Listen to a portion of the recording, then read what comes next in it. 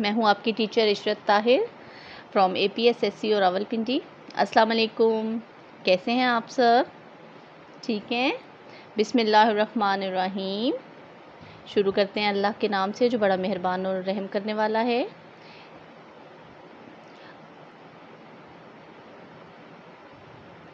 रब्बी ज़िदनी इल्मा। ए मेरे रब, मेरे इल्म में इजाफ़ा फरमा। O God increase me in knowledge प्यारे बच्चों, जैसा कि हमने पढ़ा था कि हम, इस्लाम हमारा मज़हब है, हम सब मुसलमान हैं, और ये सारी दुनिया अल्लाह ताला ने बनाई है, और इस्लाम हमें कहता है कि हम अल्लाह ताला की इबादत करें, ठीक है? मुसलमान अल्लाह ताला की इबादत करते हैं। आज हम पढ़ेंगे खाने से पहले की दुआ।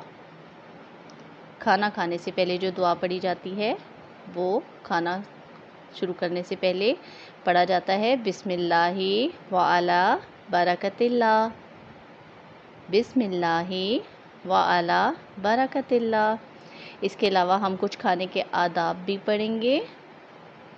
सबसे पहले हमें हाथ धोने चाहिए। खाना शुरू करने से पहले हमें हाथ अच्छी तरह से साबुन के साथ धोने चाहिए।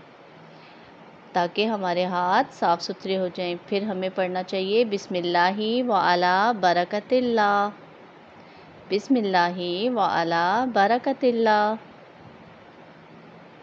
फिर खाना शुरू करने से पहले जैसे हमने दुआ पढ़ी, बिस्मिल्लाहि व अला बरकतिल्ला बरकतिल्ला एंड बिस्मिल्लाहिर रहमानिर रहीम और खाना हमें सीधे हाथ से शुरू करना चाहिए। ठीक है?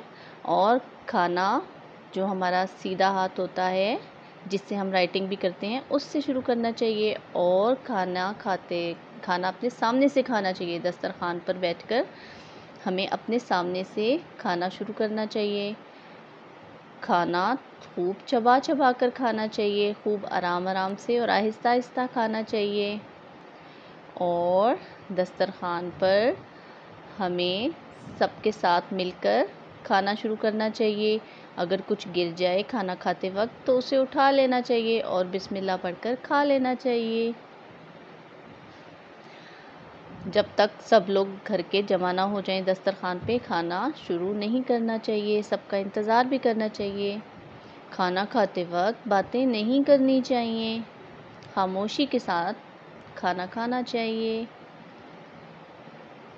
और खाना खा, अपने सामने से सीधे हाथ के साथ खाना चाहिए, लेकिन जब खाना खा चुके हैं तो अल्हम्दुलिल्लाह भी बोलना चाहिए कि अल्लाह तेरा शुक्र, तूने हमें खाना दिया रिस्क दिया, हमें पानी पिलाया, अपनी नेमत दी और हमें मुसलमान बनाया। अल्हम्दुलिल्लाह, खाना खाने के बाद बोलना चाहिए, अल्हम्दुलिल्लाह, और फिर हमें अपने हाथ जाकर धो लेने चाहिए। ठीक है? खाना खाने के बाद हाथ धो लेने चाहिए। इसी तरह हम अच्छे मुसलमान बन सकते